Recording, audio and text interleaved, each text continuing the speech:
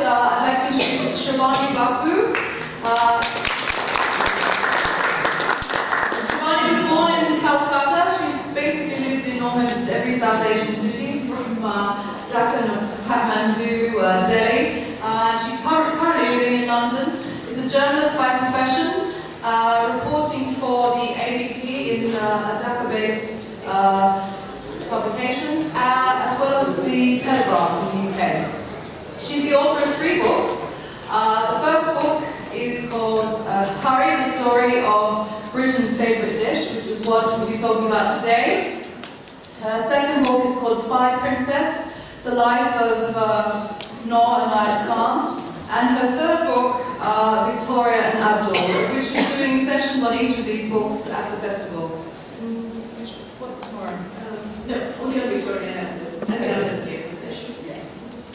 Uh, her, her love for history and her writing about uh, of history has really come from her observations of living in both India and, and England. So um, all three books have uh, very strong connections between India and, and uh, England. On my left-hand side, we have uh, the wild and wacky, uh, known by friends Vicky Nair. Uh, this is um, actually his book launch today, which is very exciting. Uh, it's his first novel. Uh, it's called Gone with the Vindaloo. Uh, actually, Vicky, born in India and uh, is a serial entrepreneur, and had this story pent up inside him for at least a lifetime, taking 10 years to, to write it. Um, we're going to start firstly by uh, with, with studying more serious uh, the history of curry, and uh, we'll go on to the tales of Vicky and Gone with the Vindaloo.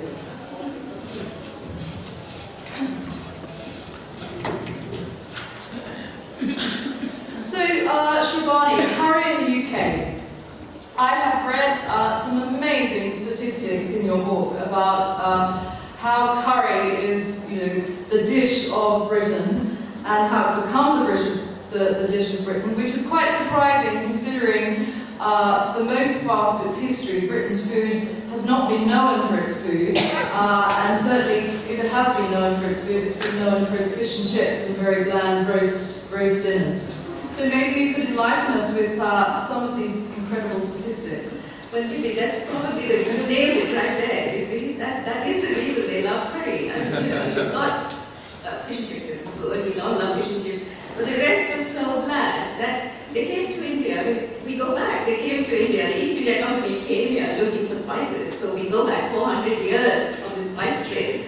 But it is Britain's favorite food. Every survey they do is like, what is the favorite dish? And it's this dish called chicken tikka masala. In the trade, it's even got a, you know, it's called CTM in the restaurants. You order a CTM.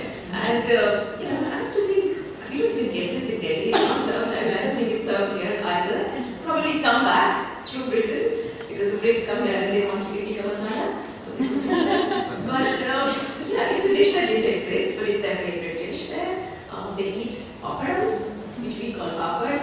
And in the South India, they call it papadums, so the Brits make it papadum. they make their way through, I mean, the statistics are enormous. I mean, somebody's made these up, I guess. 200 million papadums a year is what they consume. I don't know, this is authentic, but it probably is. There are over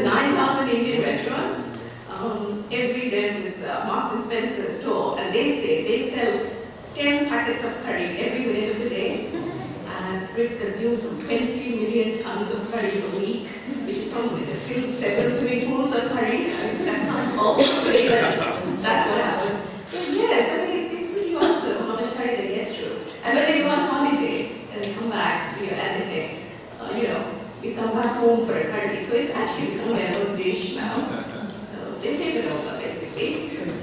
Um, yeah, in fact, in uh, 1998, for the World Cup football final, the British uh, band Fat Les, uh, the, national, the, the anthem for the World Cup was called Vindaloo. and they went to France singing Vindaloo. There was large tattooed British, you know, the English football fans, you know, large men with tattoos.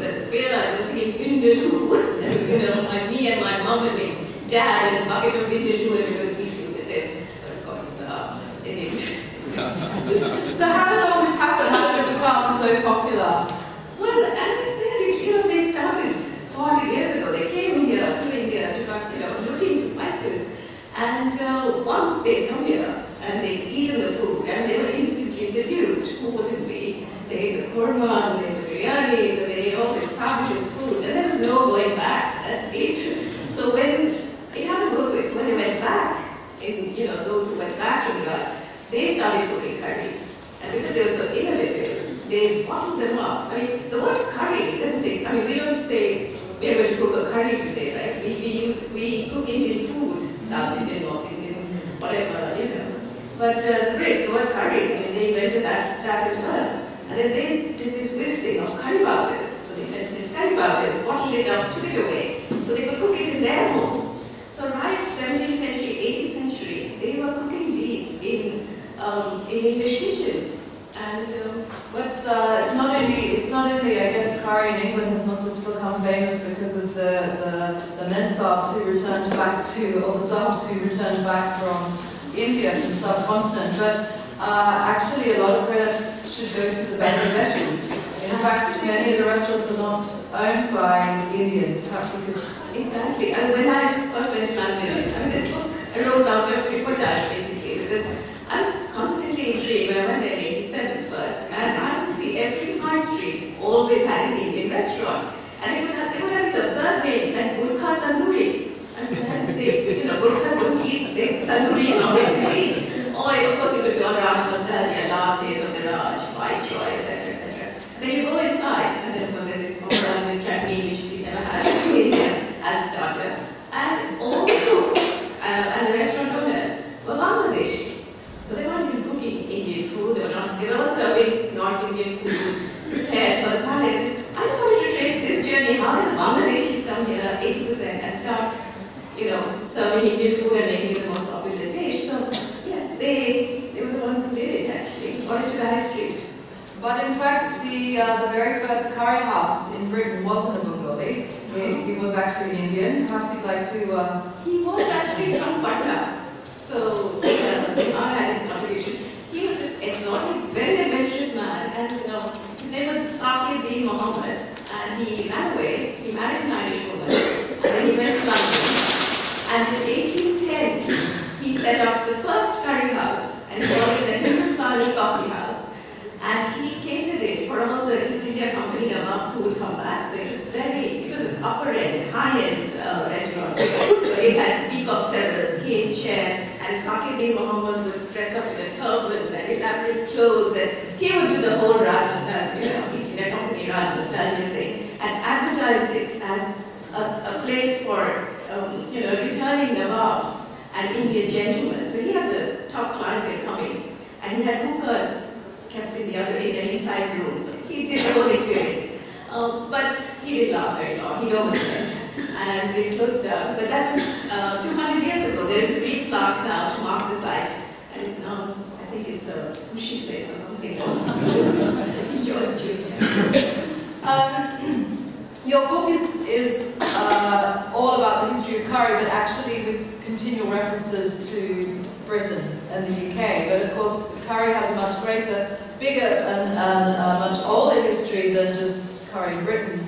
Um, and there are many books written, for example, the one written by Lizzie Collingham who talks about curry from 4,000 years ago, and, uh, and many stories about that. But actually, I suppose uh, when we're talking in, re- in reference to the UK, um, how did actually all this curry come about? I suppose if you want to touch on the, the spice wars and the spice trade. Well, what happened is, you know, many of the things we take as granted, like think of red chilies and chili powder as Indian now, they didn't, they were not actually native to India. So they came with, with the Portuguese, who had found them in, in, you know, in, the, in Latin America. So they came with the Portuguese, they introduced chilies to us. And that is now so much part of our cuisine. And along with that, some several other spices. I mean, pepper used to give heat to uh, Indian dishes at that time. And chilies came with the Portuguese. So then the Brits introduced tomatoes. There were no tomatoes in India. So various things actually as part of them planting them, bringing them over.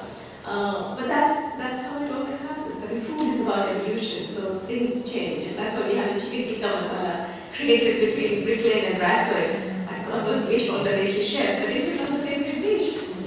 So, uh, I mean, if we think about the Roman time going back, actually, in the 13th, the 13th, 14th century, Venice really monopolized um, the spice trade with gold, swapping gold for spices.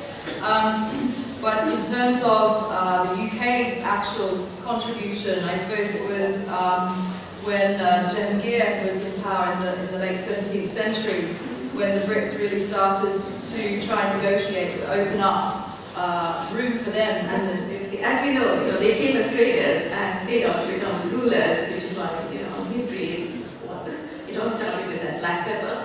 But uh, yeah, here and they loved food. They took it back, in bottles and recipes. And uh, what people don't know is that even in the 19th century, it's like uh, 1845, it was actually quite class to be having these curries because spices were expensive. So only those who could afford it and they would show off if they were making these curries because you know you've got these exotic ingredients.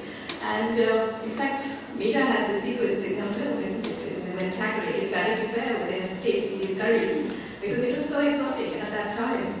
Um, but um, in 1845, there was this Duke of Norfolk. He's amazing person because he says he actually he said he prescribes. He does a Marie Antoinette. He prescribes a curry as a cure for famine because he says uh, it was the time of the Irish famine and uh, there was also a lot of shortages in, in Britain. And uh, he says if a man goes to bed hungry, he gives this speech. And he says if a man goes to bed hungry, uh, he should uh, take a glass of warm water and stir in a spoon of curry powder, and he'll go to bed happy and you know he won't be hungry anymore because the spices are you know cayenne pepper that's good for him. So he was really pilloried as the, he was called the curry powder duke, and he was pilloried. And there were it went on for a whole year as it's like punch, and he was you know they had poems about him saying that you know this is the cure for curry powder, he's the cure for family's curries. So they made a lot of fun about it. But um, yeah, the fact is, early 19th century, they were still doing curries. They were already doing curries. Well, uh, with the Duke and the, the, the controversial curry powder Duke, um, curry also had its patrons of very other uh, from the royal courts. Perhaps you'd like to tell us a bit about Queen Victoria, who actually never stepped foot on the subcontinent, but yet uh, had quite a penchant for Absolutely. Well, Queen Victoria had an enormous appetite. She, she had, she had a huge empire, of course, and she was had a you know appetite that matched it. So she never came to India. She never came to India, but she longed to come to India. She really wanted to, you know, feel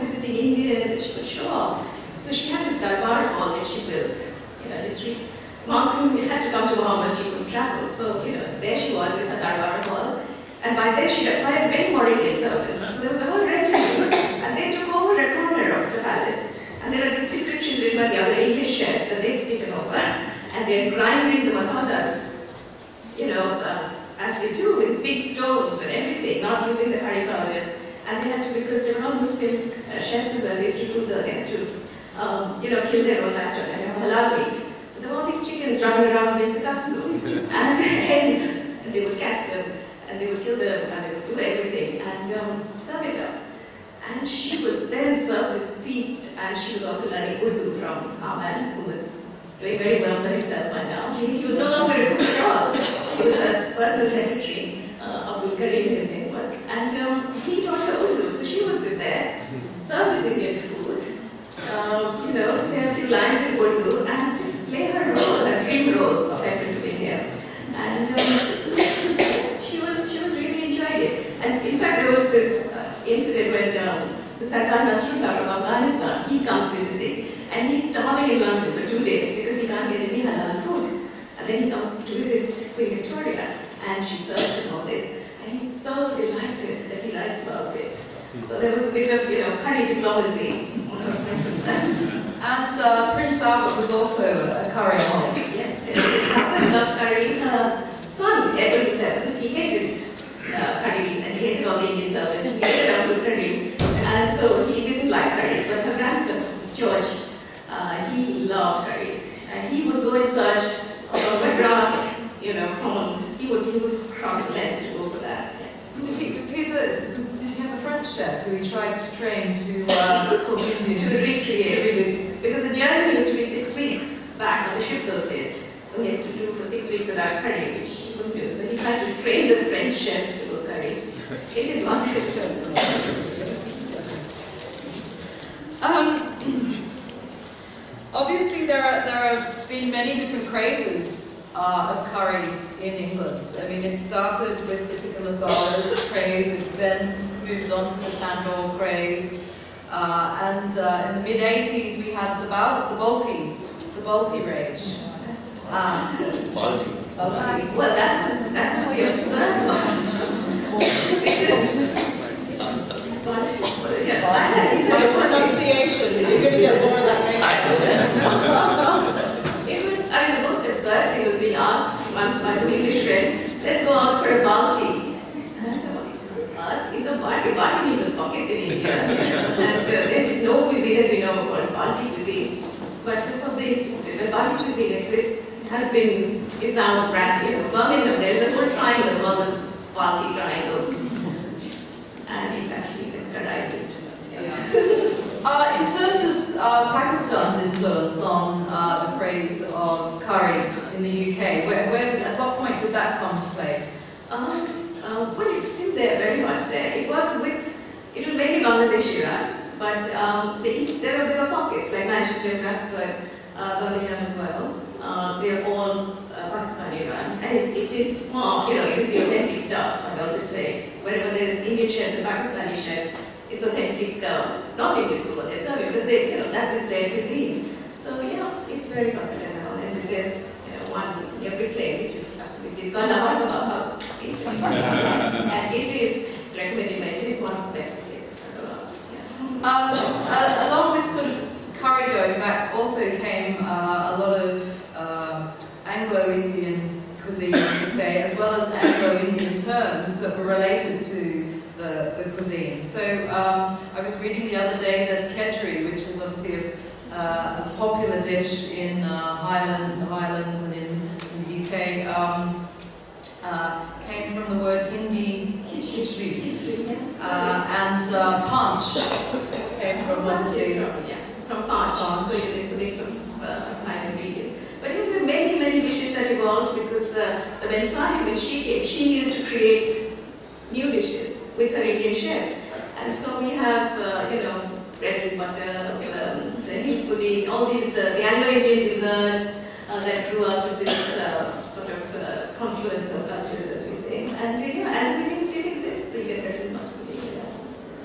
So with the, the curry powders that uh, were obviously a big thing for in, in the UK, I read that the earliest curry powder factory in India was from uh, 1868, where um, uh, famous curry powder family, I can't remember their names, were manufacturing and exporting in by in container loads back to the UK. Because the UK didn't actually make What shop? curry powder to They would sell, uh, take curry powders back and sell them in, you know, in the chemists actually would sell bottled curry powders, and the housewives they would buy them, and they would, um, how do we know this? Because they would exchange recipes. So there's this ladies' corner of the 19th century newspapers, where all these ladies, you know, they exchange all their recipes. And um, even Mrs. Uh, you know, Isabel Beeton, hers was, the, she was like a Bible of cooking. She had her own curry recipes. And they would curry everything, you know, they'd say curry this, curry Just throwing anything into a curry was their concert. And most of it was probably god awful, they know, probably should have come with health warnings. But um, anyway, yeah, they, they were doing that. And they would, and then Sharwood's, which is a company known, well, they sourced from Madras. And the ad was that the person came and he had this uh, fabulous curry and uh, in Madras, and he said he was conquered forever. And then he, his advertisement became how he came and he ate the curry. So it was a five-point curry. And um, the ad goes how Mr. Sharwood was conquered by curry. And these were their big ads which they ran. And um, Sharwood still exists today with its base, I think it was and chutneys. Yeah. So um, we're going to move on from the history of curry uh, to the future of we're, we're going to turn to uh, this wonderful book, um, Gone with the Vindaloo. So Vicky, um, what a fantastically fun book it is. Um, it's a rollicking read and it had me gripped from chapter one right to the last, to the last page. Um, he's just launched it at Jaipur Literary Festival. Today is his book launch in uh, Lahore. We're honoured to have you here. Uh, the book is filled with wonderful characters. You have uh, Mensabs and Sabs, you have uh, Randy Swamis, you have Nirvana seeking Russian Americans, uh, spoiled private school children, uh, and uh, upper class civil servant families. Um, but uh, one of the things, having got to know you a bit over the last week, is definitely uh, your writing style is incredibly tongue, tongue in cheek. Um, and certainly uh, the book is very saucy, uh, in, in, in, many ways more than one. Um, so I, I, think we should start perhaps with you just telling uh, everyone a little bit about the book, give them an outline of what the book is actually about. Actually, the book is a, I hope, a very humorous take, not a very serious take on, you know, colonialism, caste, imperialism, writing history, media, branding, and so on and so forth. And uh, I, I would try to imagine that this tongue-in-cheek and like it to be like that.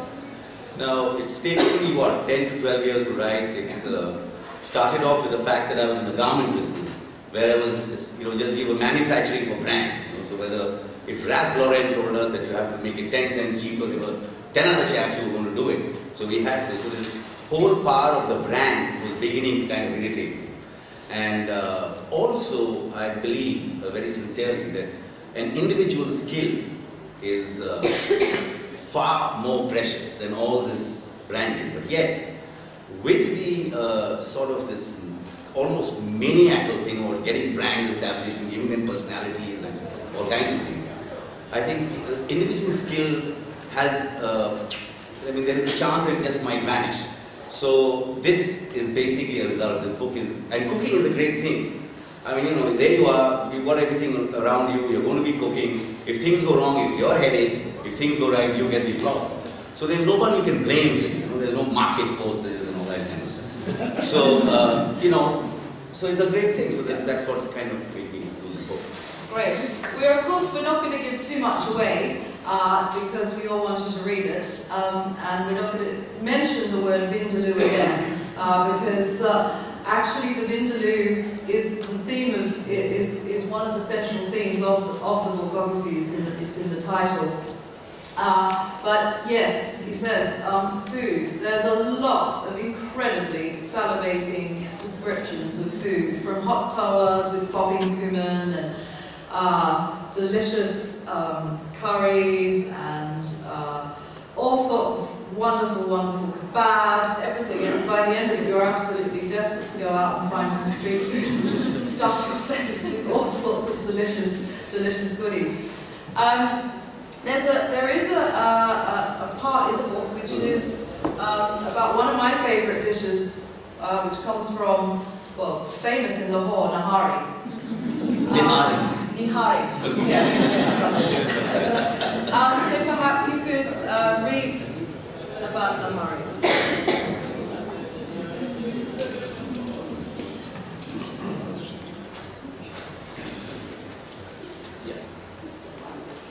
Okay, so you know, uh, the uh, bureaucrat's family has now been transferred to Delhi. And there are three generations of cook, uh, cooks, you know, the guy, the grandfather is no longer alive. It's the father and the son. And the father started his cooking in Delhi, and he's coming back from Orissa to Delhi. So here he is, taking his son for the. And he's been telling the story to his son of his father's time, and this is he's taking him of his grandfather there, Pakwan's grandfather, and he's getting him in now to Delhi to share with him the experiences which he, as a father to a son, actually has had.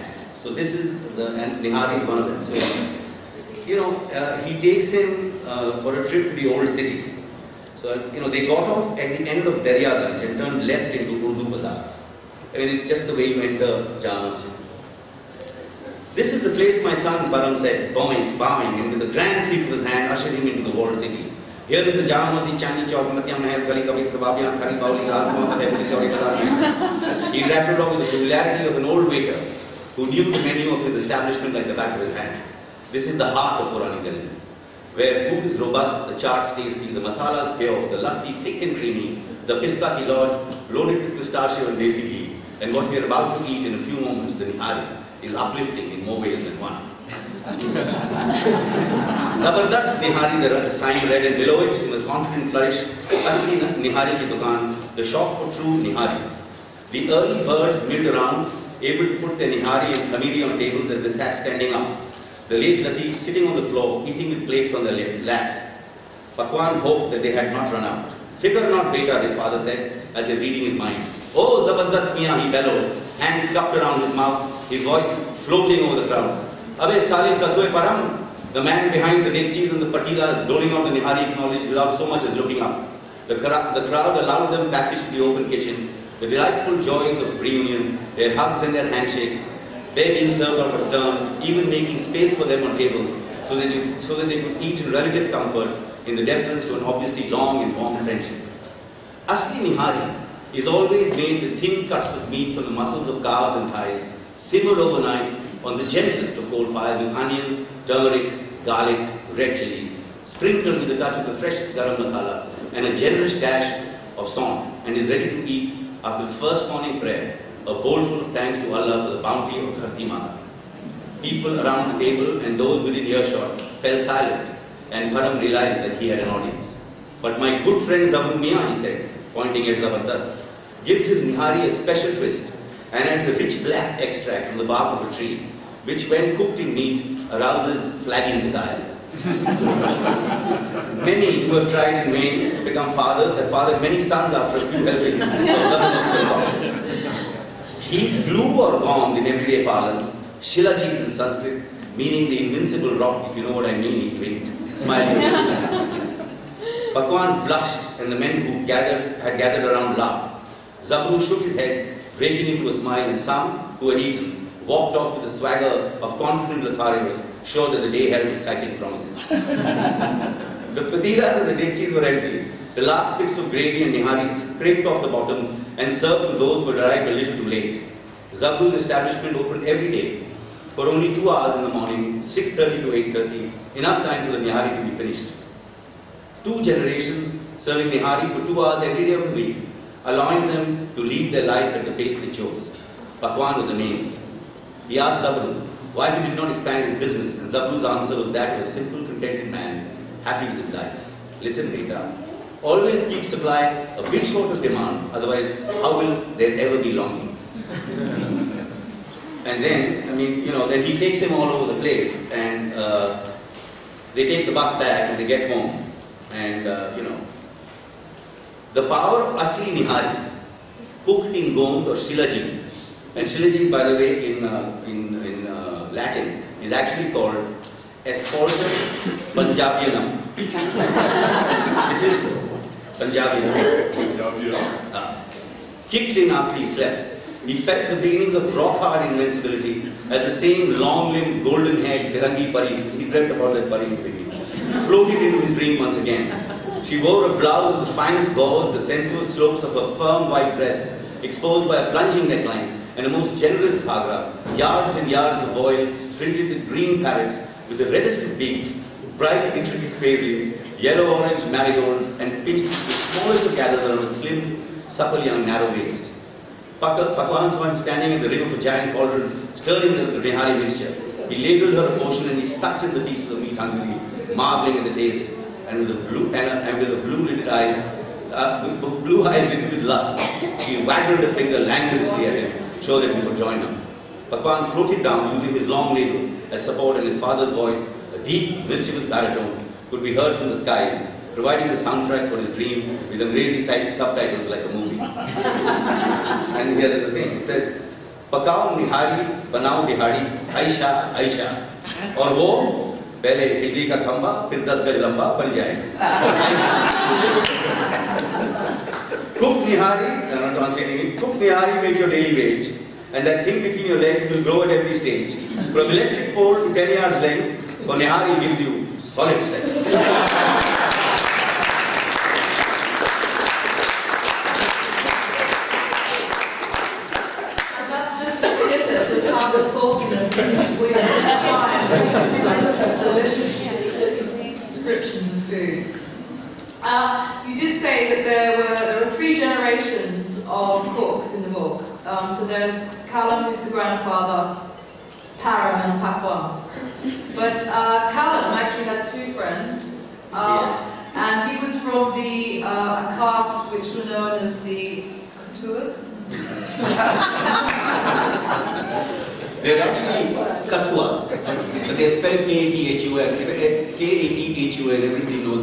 you know what that joke is. Yeah. So, Katwas actually, yes. Thank you. They spin yarn. Yes. So uh, from a cast of spinning of yarns. But one of his uh, best friends was a guy called Arth, Ah, you got that right. Well done. Arth. who was who was also a spinner of yarns, but uh, in the, in the, in terms of a magnificent storyteller. And uh, actually, uh, I wanted to read uh, the bit about uh, where Arth is, Arth is telling this fantastic story, and uh, Cunningham is listening. Okay, you know, the, this, this story is being told in Banaras. And the person who's the head of Banaras, the Englishman, this is the time after I think the first census has been taken. And the British, uh, you know, with their fascination for caste, especially after 1857, have managed to slot everybody into these castes and, you know, call somebody criminal caste and tribe, somebody, you know, the head, you know, that kind of stuff. You know, it um, like that. So uh, this, uh, and he, Cunningham, by the local population is called Chatur Chutar because cunning is, cunning is uh, Chatur and ham comes from here, so he's called. And he dresses himself up always as a subject race, as we call it, and to figure out how you know the good Raj was doing. So when he's uh, there, uh, he sort of bumps into this guy, uh, Arth Purabia, which means meaning, Arth is meaning, and he's Purabia is from the east, so meaning from the east, and that's another, if you mean a lot, but here we go. So he's uh, telling the story of tiger. And he had a great hold on, his, on the audience when he told the story. Ah, he groaned when he saw his friends approaching. This Malish, he was having a head massage, lightens the load of time. The musty of Malish is more blissful than the heavens. My spirit, my spirit feels it is bubbling, like water on a slow rolling boil, relaxed and mischievous. You have, you have done your kasna, Katwa. Now it is time for me to spin my yarn. Mateen and my father laughed, admiring his wit. Mateen was the circumcised one, the Katwa. Your grandfather was the Katwa by caste, and Arth the spinner of yarns. No offense taken, no offense meant. It was just another celebration of Bhai Bandi and easy congratulate. Their hands cupped around their mouths and their heads thrown back. Mateen and Kalam announced in happy voices, Suno, Suno, listen you all citizens of Banaras, the great Hatpurabia is ready to tell a story. Now he starts the story. Once upon a time, spoke Arth in a voice loaded with ancientness. There was a forest so dense that even the sun god had to strain through the blackness to show his power, like the belly of a deep, deep well. Thick, thick, tall, tall trees stretched towards the sky. Da da da da da. There were birds, big ones and small ones, colorful ones, dull ones, barasinghas and spotted deer, uh, hogs and blue bulls, rabbits and jackals, musk-deer and peacocks, and the hero of our story, an old, sly, cunning, and ferocious tiger. But age and injury had slowed him down, and hunting for food had become a problem. So he turned to the village at the edge of the forest where, were, where there was easy game. At first, His shikar was cows and goats, but as the burden of age grew heavy and his strength and speed sagged, he had to satisfy his hunger with prey that was the slowest and easiest to kill. He paused, looking up at his audience, man. When the villagers found their, cow, uh, their cows and goats missing, they were worried. But when the tiger killed a little child, baap re baap, there was gather in the village. Drums were beaten. Ar thrust his hips at the crowd and mimicked the beating of drums with his hands. Announcements were printed and messages passed from mouth to mouth, offering generous rewards to any shikari who would kill the dangerous beast. The villagers were in luck. The news reached the famous and legendary Galicha Shikari.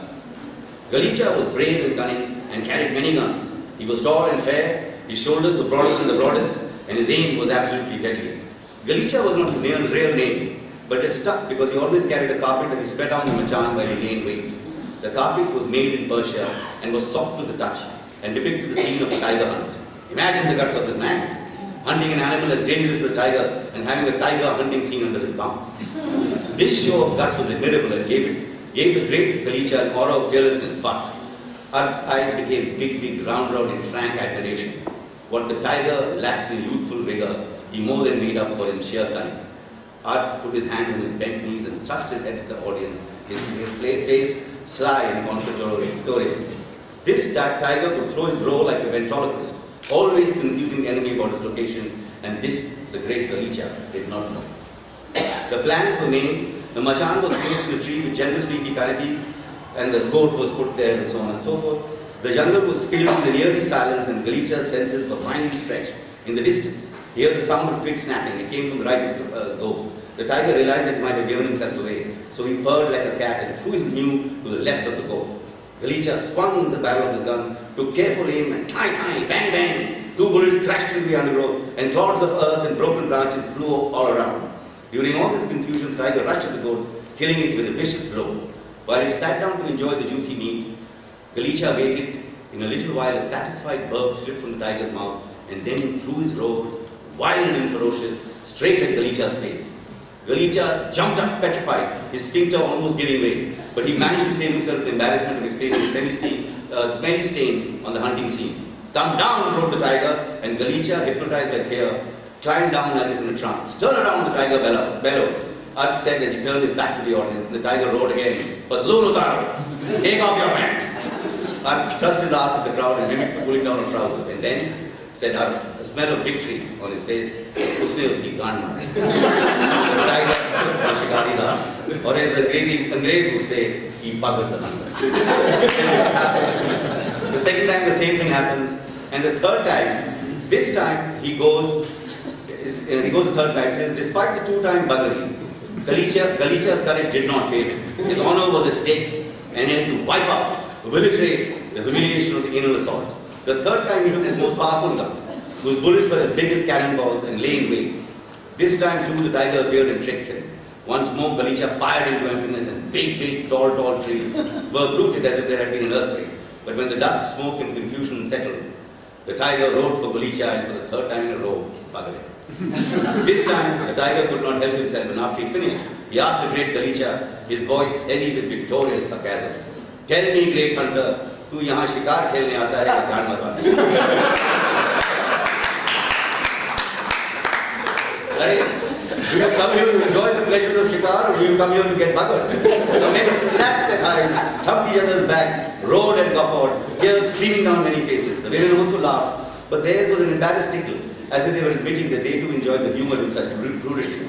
Arth waited for the laughter to subside and then asked, Tell me, you people, what is the, me- the message of the story? Silence.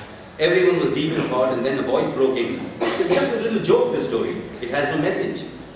I have to agree that this is a story full of jest, but Arth's voice dropped, becoming low and heavy with wisdom. It says a lot about storytelling. This is the tiger's tale, glorifying his kind and stripping the hunter a pathetic, idiotic figure with only a hat trick of buggery behind him, of his pride and bravery. If the hunter told a story, it would be different. The hunter would glorify his hunting, and the tiger, tiger would be weak and cowardly. You see, this is the problem with the story. Where the truth lies, nobody knows. It all depends on, on who narrates it. In war and in peace, the victorious vigorously tell their tales, and the vanquished lose their voices and are stripped of their virtue.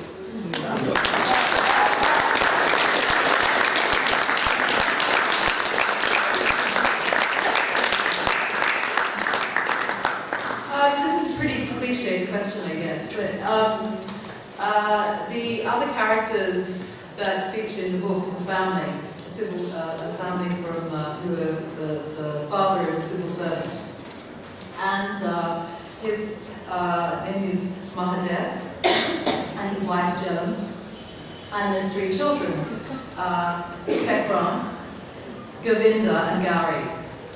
Uh, how much of that family is actually, uh, when you're writing it, how much is autobiographical?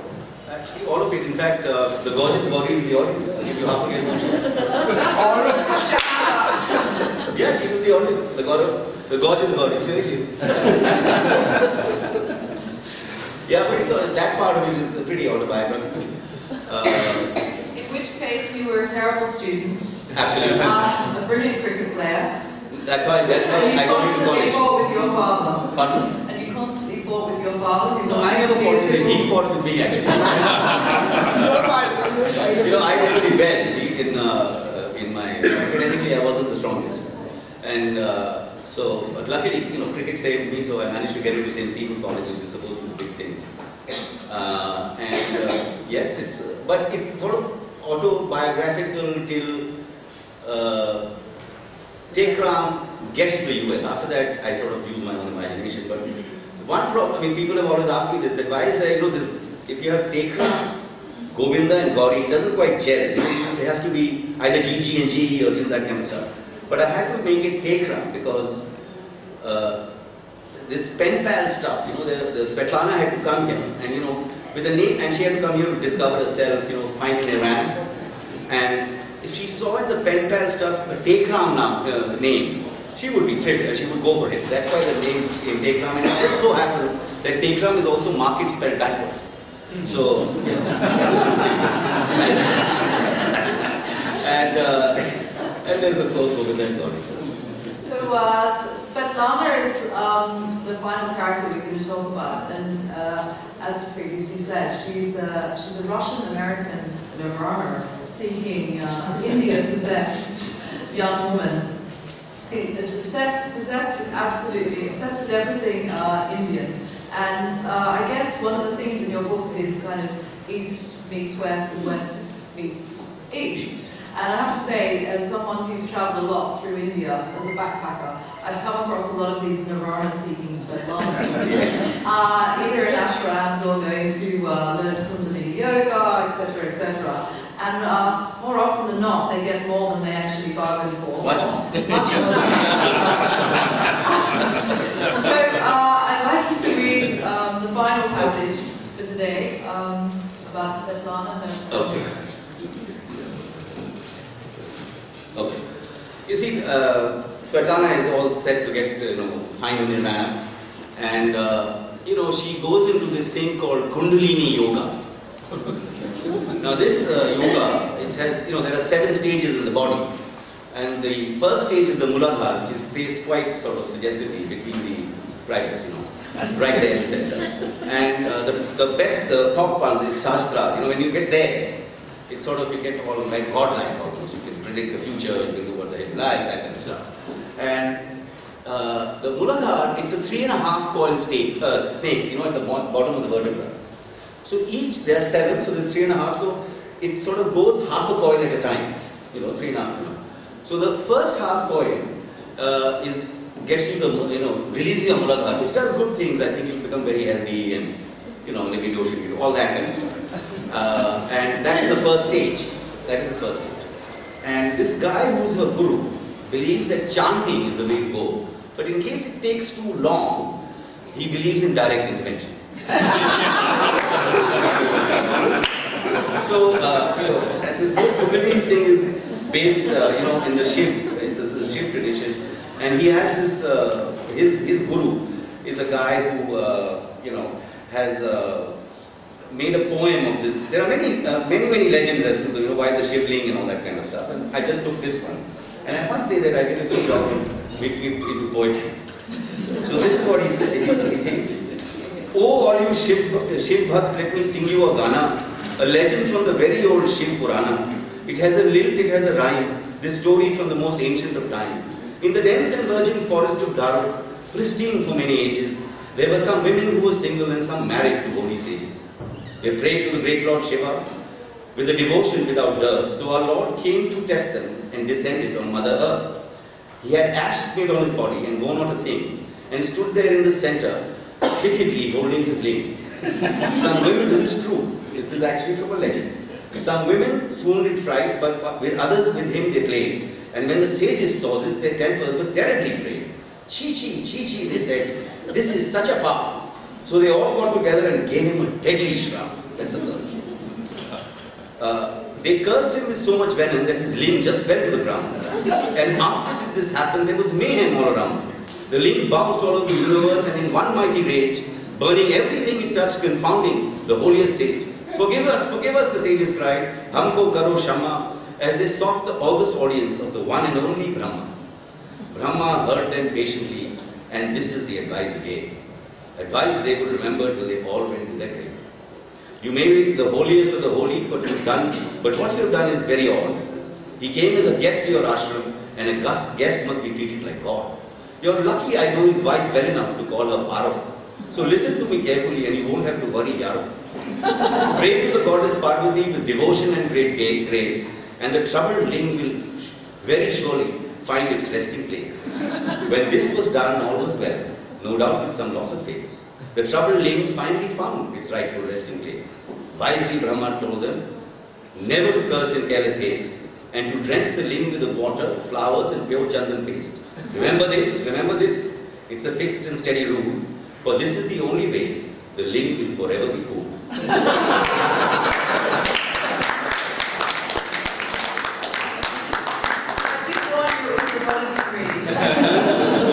Thank you, Vicky. Um, I'm now going to open up the floor for any questions you may have for, on, the, on the history of curry, um, for some more interesting tales, or uh, about Vicky's book. Um, Vikram, obviously I'll be approaching you later for the exact address of that uh, Nihari house. okay. but actually my, my question, uh, Shrabani, was for you. Um, when I grew up in the UK in the 60s, when I went uh, to Sunday lunch with uh, uh, friends of my parents, um, we would have curry occasionally, and it was a, a, a circle of white rice, and in the middle was mincemeat with the tiniest bit of packet curry powder, and on the side there was chopped banana and raisins and, and coconut, dried coconut. That's what I grew up with as a curry. And my grandmother should have known better. She was born in what was then uh, uh, Bombay. Um, but even she served that. So what was that all about? Have you, is this something you've come across? Well, yes, all the time. I mean, as I said, it was it was up with stuff. I mean, but everybody, you know, this is what was cooked those days. They blended it, and they, they thought. I mean, there was many curry recipes which, in the 19th century and early 20th, they would put raisins, they would put almonds, they would put everything they could into it, and it was it was just a mishmash of all stuff. Um, but that's what they ate, and I mean, thankfully, it's become much better. but yes, I think that's what it was those days. some wonderful, delicious things that the Brits took from India. And one was Worcester sauce, and then something called gentleman's relish. I don't know where Marmite came from, possibly from there, it was rather mild. But the, their food was really transformed, as you said, when they encounter with India. And whereas their food, when they attempted to cook those dishes in India, became very, very weird. I mean, something called blancmange, for instance, which was a sort of shaky pudding, which President Hollande has been compared to. And other sort of things, very flowery, full of gelatin, and most unattractive. But some of the desserts that came down and then became, you know, part of the Anglo-Indian tradition, I think they, they still have a special place. Kobiraji cutlets, all that Anglo-Indian chicken breast. Yeah. They, they, exactly, yeah, exactly. So a lot of cuisine from Calcutta, which is so popular as snacks, came. So you know, it's something, something did evolve. In fact, the uh, the lady which is the gulab jamun, I mean, the you know, which we know in North India is gulab jamun. In Bengali they call it lady kini. Uh, it's the same thing. But it was actually named after Lady Canning who came visiting, and it was created in in uh, Bengal, and it was in tribute to her lady, lady, kini because they got Canning,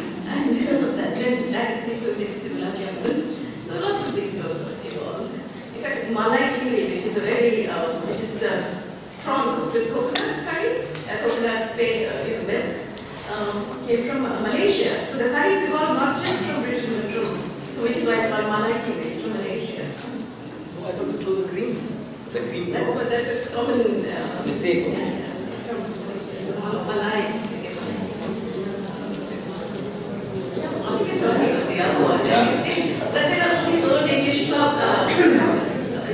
without